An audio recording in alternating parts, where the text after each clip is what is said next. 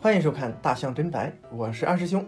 你有没有发现，生活中很多东西和自己的名字是不符的？比如明明叫黑板，但是它的本尊却是绿色的。再比如，冰箱为什么是个柜子，而冰柜却是箱子呢？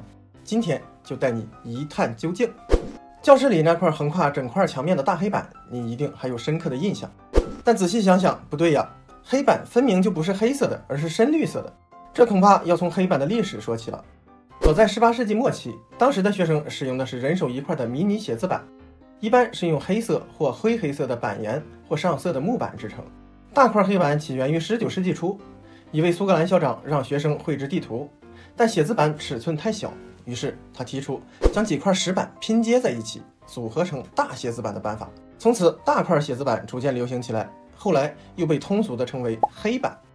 到了二十世纪六十年代，一些公司在钢板表面覆盖绿色搪瓷制成黑板，这种材料比传统石板更轻、更耐磨损，还降低了运输成本，而且粉笔写在上面也更容易擦掉。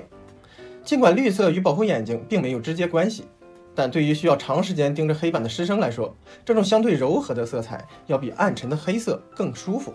另外，人对绿色光波十分敏感，学生的注意力容易集中在黑板上。黑板被绿板取代，但名字却沿用了下来。看看今天的教室，可能绿板也很快退出历史舞台了，取而代之的是白板和各种电子屏幕。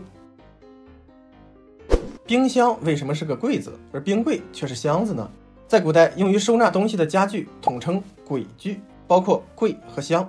区别在于，柜是横拉门的，比如衣柜、保险柜；而箱是上翻盖的，比如行李箱。早在汉朝，冰箱就已经出现了。《周礼》中记载，祭祀供冰汉。那会儿的冰箱确实是用青铜做的箱子。直到清朝，冰箱的外形也一直变化不大。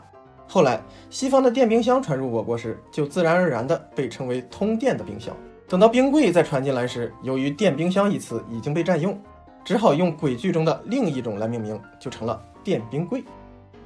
明明是绿的，为什么叫黄瓜？黄瓜最初叫胡瓜，因为它是汉朝张骞。出使西域带回来的，因古人对西域人统称为胡人，也就有了胡瓜的说法。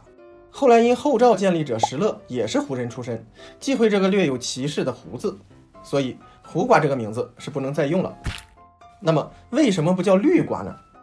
其实我们今天吃的绿色黄瓜是它未成熟的状态，完全成熟的黄瓜就是黄色的，只不过未成熟的口感更脆更好吃。